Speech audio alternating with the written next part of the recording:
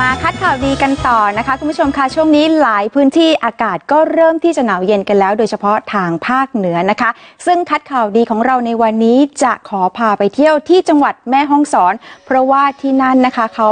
ต้อนรับนักท่องเที่ยว เตรียมพร้อมอย่างพร้อมเพรียงกันแล้วค่ะ วันนี้นะคะการท่องเที่ยวแห่งประเทศไทยได้ร่วมกับเครือข่ายพันธมิตร เปิดให้ความรู้สำหรับการเดินทางท่องเที่ยวทั้งจังหวัดแม่ฮ่องสอนอย่างคึกคัก โดยไฮไลท์อยู่ที่สถานที่ท่องเที่ยวธรรมชาติอย่างเช่น ปางอุ๋งถ้ำแก้วโกมล ทุ่งดอกบัวตอง ดอยแม่อูคอ อนุสรสถานมิตรภาพไทยญี่ปุ่น นอกจากนี้ยังมีสถานที่ท่องเที่ยวแห่งใหม่ก็คือแหล่งท่องเที่ยวในโครงการพระราชดำริ อย่างเช่น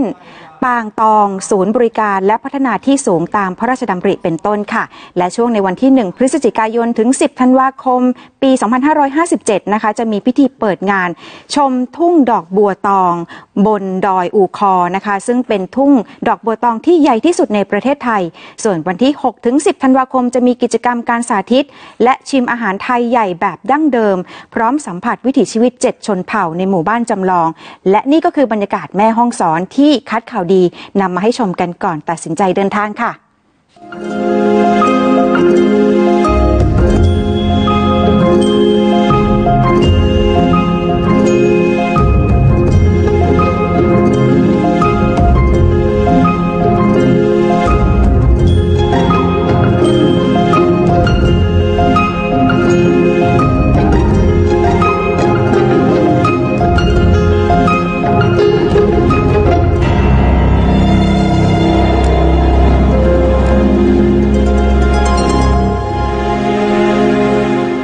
น่าไปเที่ยวมากเลยจริง ๆนะคะ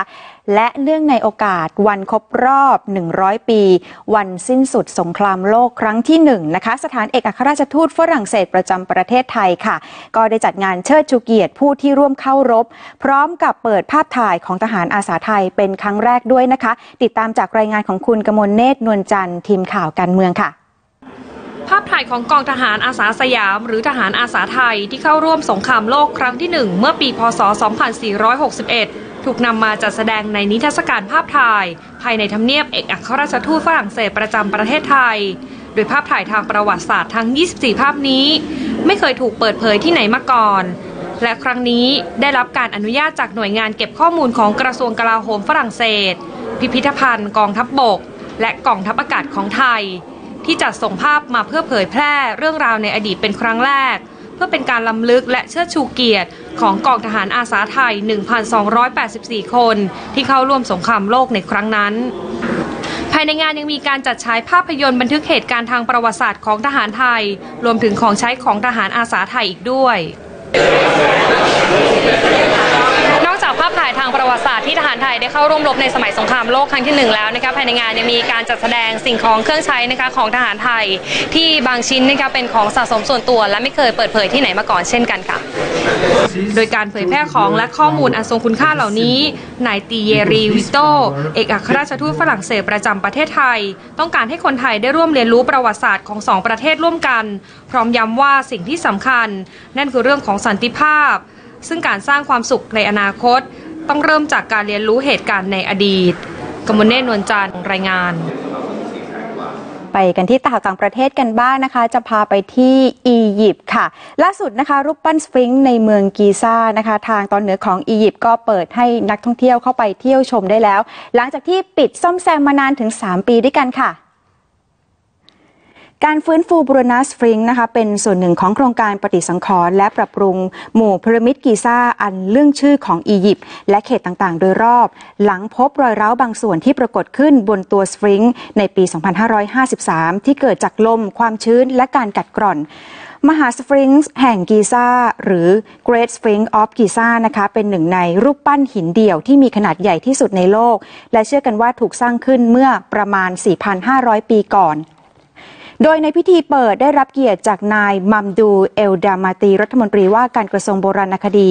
และมรดกของชาติของอียิปต์และนายฮิชามซาซูอา รัฐมนตรีว่าการกระทรวงการท่องเที่ยวอียิปต์มาร่วมในพิธีค่ะอะไปต่อกันที่บราซิลนะคะ ล่าสุดค่ะความยิ่งใหญ่ของปราสาททรายในกรุงริโอเดจาเนโร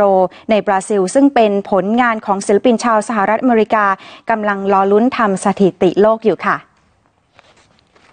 ปราสาททรายขนาดยักษ์รังสรรค์ขึ้นจากฝีมือศิลปินถึง 12 คน โดยใช้เวลาทำงานเกือบ 1 สัปดาห์ จากทรายและก็น้ำขณะนี้ Guinness World Record นะคะได้ส่งเจ้าหน้าที่วัดความสูงของปราสาททราย และได้ความสูงมากกว่า 12 เมตร ซึ่งก็ต้องรออีก 2 วัน เพื่อยืนยันว่าจะสามารถทำลายสถิติได้หรือไม่ ศิลปินกลุ่มนี้เคยสร้างปราสาททรายมาแล้วทั่วโลก และสร้างงานชิ้นนี้ขึ้นมา เพื่อโปรโมทแบรนด์ให้กับบริษัทสัญชาติอเมริกัน 2 บริษัท ในประเทศบราซิลค่ะ ซึ่งปราสาททรายนี้สามารถทนทานต่อกระแสลมและฝนได้เป็นอย่างดี แต่ถ้าเกิดว่าจะทำลายทิ้งนะคะ ก็สามารถทำได้ภายในวันเดียวค่ะหมดเวลาแล้วสำหรับรายการคัดข่าวดีนะคะ คุณผู้ชมสามารถส่งเรื่องราวดีๆ แบบนี้มาหาเราได้หลายช่องทางช่องทางแรกส่งมาเลยที่อีเมลค่ะ treefamilynews at gmail com นะคะ ส่วน Line Search ID tree family news คุณผู้ชมยังสามารถร่วมดูรายการย้อนหลังของเราได้ด้วยนะคะ เพียงเข้าไปที่ www ครอบครัวข่าว com วันนี้ดิฉันธนสรอมาตยกุลลาคุณผู้ชมไปก่อน สวัสดีค่ะ